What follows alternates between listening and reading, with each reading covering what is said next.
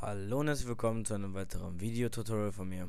Heute möchte ich euch zeigen, wie ihr so ein Programm erstellen könnt, das ein Label anzeigt mit einem bestimmten Text, der dann immer in verschiedenen Farben eingeblendet wird und ja, sieht relativ nice aus eigentlich, sozusagen nur für eine Dekoration. So, um so ein Programm herzustellen, öffnet ihr erstmal euer VB, erstellt eine neue Form und die nennen wir jetzt einfach mal Tutorial.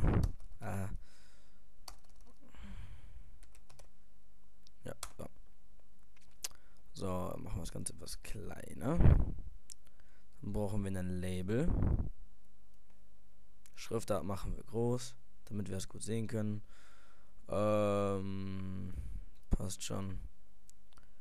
Dann schreiben wir jetzt hier immer einen Text rein. Made bei x360 HDX. Zum Beispiel. ist nur ein Beispiel. So. Dann brauchen wir noch einen Timer. So. Erstmal Timer 1. Start. Oder auch enabled gleich true. Und dann der Timer. So. Dim. Jetzt halt irgendein Name hier ist egal. Ich nehme es einfach fuck as new random. Ja. Dann dem r as integer gleich. Fuck. Punkt. Next. Äh, o. Äh, ups 0 Komma 255 Klammer zu. Dem g as integer gleich. Fuck Punkt. Next. Klammer auf. 0, 255 Klammer zu. Und dem b as integer gleich. Fuck Punkt. Next. Klammer auf.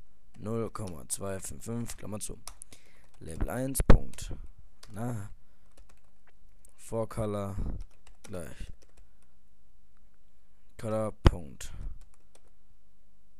from ARGB, Klammer auf, R, G, B. So, jetzt werden wir das Ganze mal testen. Hier funktioniert sehr gut. Um jetzt hier noch die Geschwindigkeit einzustellen, müsst ihr einfach den Timer ähm, bei Eigenschaften den Intervall einfach höher oder tiefer stellen. Ich mache jetzt mal 20, ist relativ schnell. Das sieht dann so aus könnt ihr halt dementsprechend anpassen. Ich mache das jetzt mal auf ganz langsam. 250 müsste reichen. Dann sieht das Ganze so aus. ja, relativ nice. War nur so ein kleiner Tipp jetzt. Ja, das war's auch schon. Bis zum nächsten Mal dann.